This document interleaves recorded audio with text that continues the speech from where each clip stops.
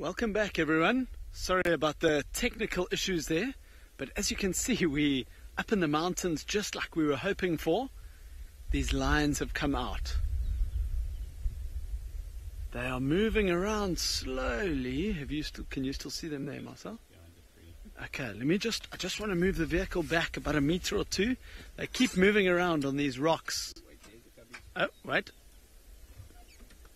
They keep moving around on these rocks. But I'm sure you can see there those tiny little cubs. These are the same ones we saw last night.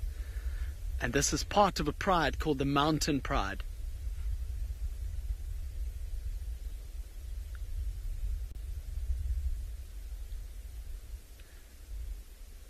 Morning, Sophie from Singapore. Um, welcome and thank you for watching. These little cubs, there are five of them. I think we can only see about two of them for now, but they're all running around the rocks. And they are in the region of about maximum three months old, possibly even just less than that.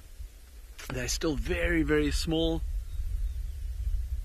And as you can see, big, like fluffy ears. So they're still very, very young. And it's only the um, well, last night was the second time I'd seen them, and this is now the third time I've seen these little cubs, so they're still very, very young.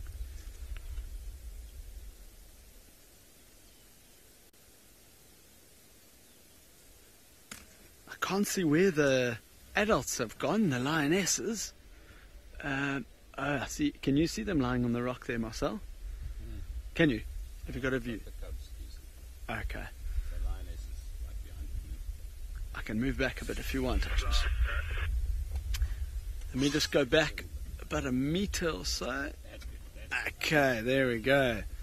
So we've got a perfect view of these little lions on the tree, on the on the tree, on the rock now.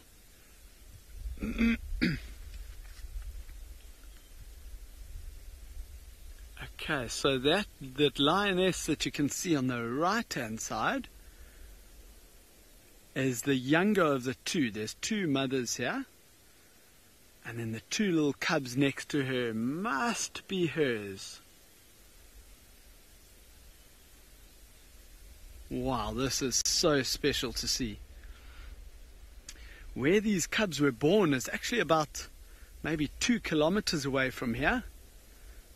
But since about three weeks ago, they seem to the lionesses seem to have moved the cubs up on top of this mountain where they are quite well hidden and safe when the females go off hunting. Up in these rocks, there's lots of little crevices and holes in the rocks, and also quite a lot of trees, as you can see. So there's lots of hiding places for them.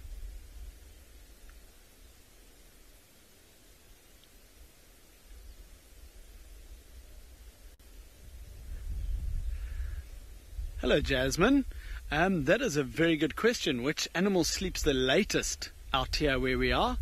And there's there's there's something like yeah, I suppose this time of the year there's a lot of reptiles that will hibernate and sleep almost the whole of the winter um, because of the cold.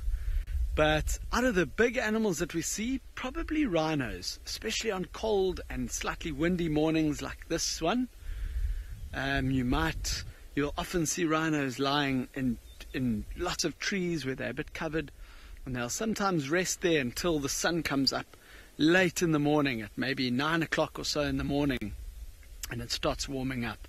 So, out of the bigger animals, probably rhinos. That's a really interesting question, though.